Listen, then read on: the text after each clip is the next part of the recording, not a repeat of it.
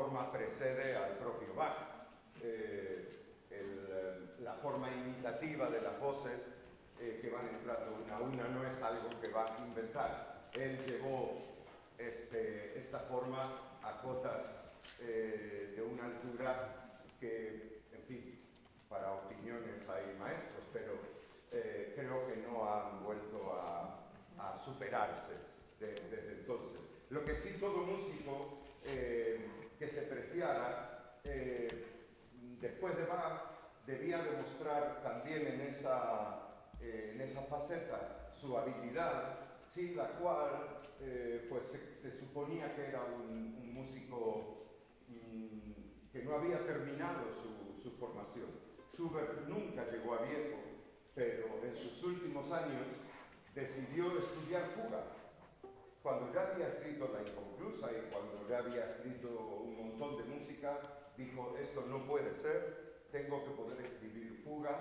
Y la verdad es que en algunas de sus misas, eh, parte de lo que aprendió pudo volcarlo allí y el tiempo eh, hubiera sido distinto si él hubiera tenido eh, más vida. Las dos piezas que también van juntas, me olvidé de comentar que entre una pieza y otra, y eso también es muy propio del barroco, muy propio del tango también, aunque diría que es más propio del barroco, y en ese sentido, no sé si el maestro Constantini estará de acuerdo conmigo, eh, lo que se hizo entre la primera pieza milonga y la entrada de la fuga, que ya todos podremos cantar esta noche en casa, eh, eh, eh, Claudio ha hecho una improvisación que es una de las maneras también por la que se competía para llegar a ser organista de, un, de una iglesia importante. normalmente el tribunal le daba al compositor o al, al futuro organista el motivo de una fuga y él tenía que improvisar. Y se hacían grandes concursos, lo he comentado en esta sala alguna vez, Alguno quiso enfrentarse a, Bach sin saber que era él, un organista francés, y dicen que por la noche huyó desfavorido al enterarse de que su competidor era el gran Sebastián. Eh, aquí, en estas dos que siguen ahora, se mezclan dos de las formas típicas de Bach. El coral, cuya idea es el canto, evidentemente, y una fuga, cuyo nombre es fugata. Suena un poco a pizza y un poco, un poco a fuga. Son las dos piezas que vamos a hacer ahora.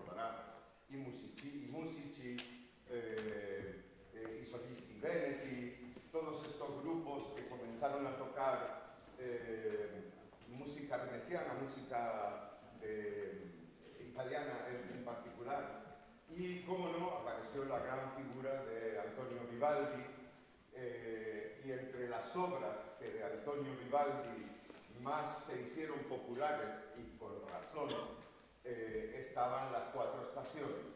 Primero las ligó a, textos y el, solo, el solo nombre de, la primavera, el verano, etc., eh, él no le dio lugar, él solo llamó, llamó mm, a cada concierto eh, por, por, el nombre de la estación, eso sí se apoyó en una serie de poemas.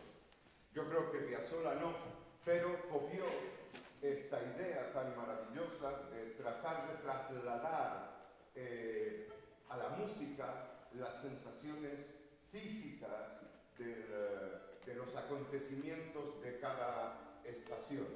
Y eh, es obvio por qué elegimos Otoño Porteño, cualquiera de las estaciones hubiera estado bien. Un día, maestro, habrá que hacer las cuatro de Vivaldi y las cuatro de Piazzolla. ¿Cuál sería el mejor orden? ¿Primero Vivaldi, después Piazzolla o primero Piazzolla, después Vivaldi? No lo sé. No lo sabemos. Bueno. Intercalamos. Eh, o lo intercalamos. Bueno, podéis ir pensando. Eh, eh, entonces, para terminar esta primera parte, debo corregirme porque mientras seguía en la partitura lo que el maestro Constantini tocaba, eh, caí en la cuenta, y mis compañeros lo podrán corroborar, eh, que eh, de hecho no hemos escuchado de Claudio eh, una pieza que a la siguiente repetición en los días que venimos tocando hubiera sido igual. quiero decir, acogido, y esto es un, una, cosa nueva en realidad que ha traído eh, este, este, estilo, eh, pareciera casi un guion más que una partitura y sobre ella, eh, según el momento lo pida, según respira el compañero, según todo eso que pasa mientras uno hace música, pues Claudio también va cambiando su, su manera de tocar, incluso las notas que le siguen. Y por otra parte, Piazzolla se ocupa muy bien de que algunas partes muy difíciles y obligadas parezcan una improvisación. Y desde luego no, no lo son. Son las partes más complicadas normalmente. Nosotros vamos a despedir esta parte con el otoño porteño de Astor Piazzolla. Eh, es curioso, un argentino lo ha pensado, un peruano lo toca, porque Claudio contra todo pronóstico, no es argentino, ni uruguayo, que hubiera sido la otra acepción posible. Ya alejarse de allí ya es cada vez menos, menos habitual.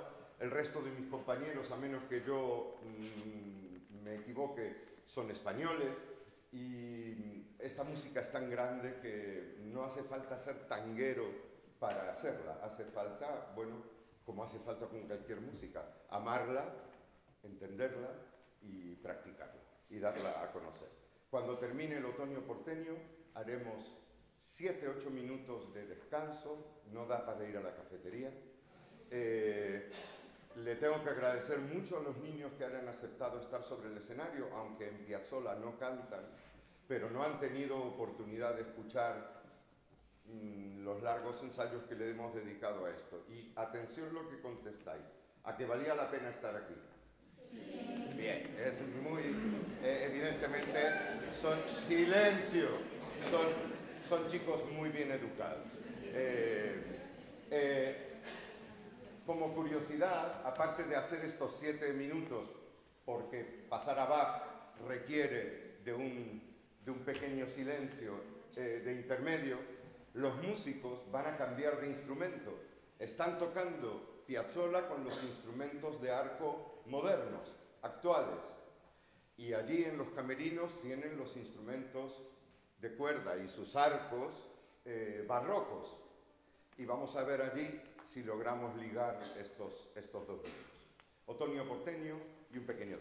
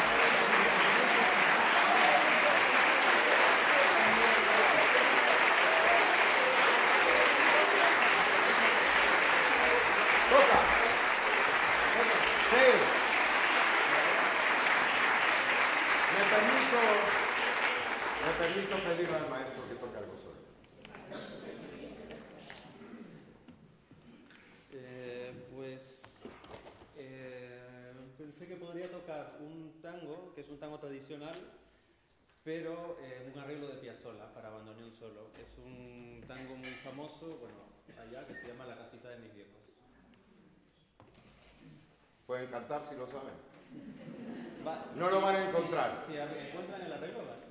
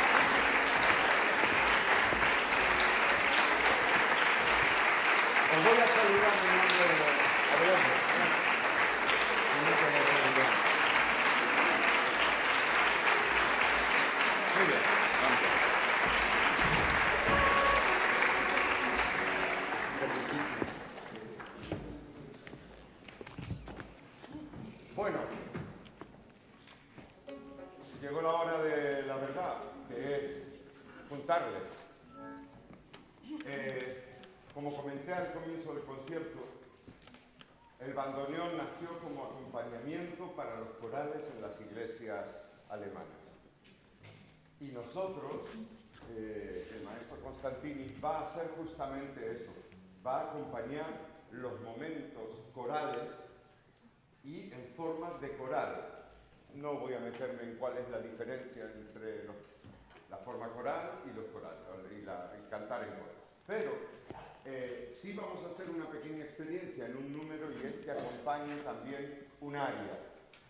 Eh, yo, para que todos tengamos una idea, le he añadido, sin permiso, porque no me lo puede dar de momento, al maestro Bach, eh, hemos añadido el coral que él ha escrito con el acompañamiento del bandoneón, el canto de los niños y de los otros cantantes, como si nuestra iglesia fuera efectivamente muy pobre, tuviera solo el bandoneón como acompañamiento y sin detenernos, sin solución de continuidad, vamos a comenzar la cantata como la escribió Bach, de manera de poder oír la manera en que está pensado el bandoneón en su origen y luego ver cómo funciona ese bandoneón, desde luego, muy bien, ya os digo, junto con la música de Bach.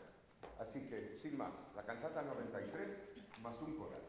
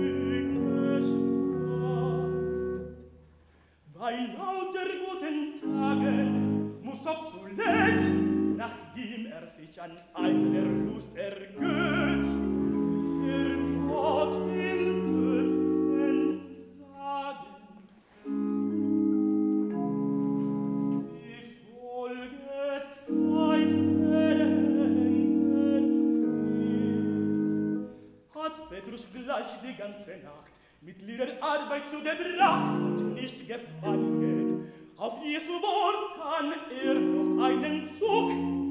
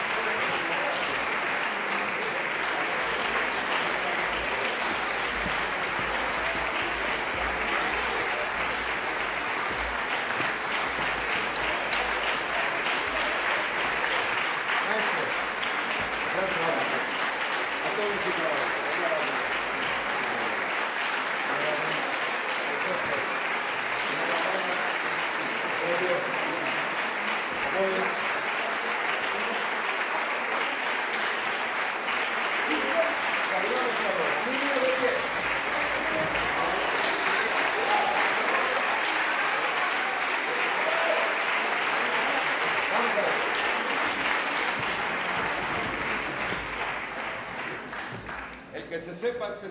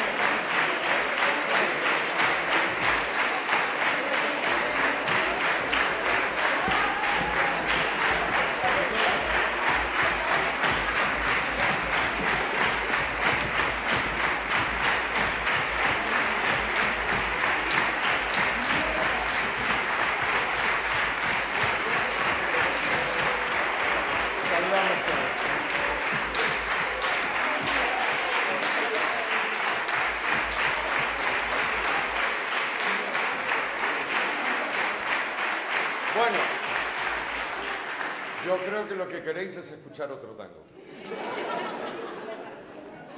O sea, hoy pasáis de baja. Pero a que mola escuchar el cómo podía ser ese instrumento en la iglesia. ¿Podéis imaginar eh, esos, ese comienzo en un, en un lugar eh, de acústica generosa como suelen ser las iglesias? Nosotros, tomad asiento, los niños, eh, que, los niños que querían saber de qué iba esto del bandoneón y del tango, han aprendido un tango. y yo creo que es un tango del que casi todos conocemos el estribillo. Si os animáis, maestro, ¿nos acompaña? ¿Qué era, re menor?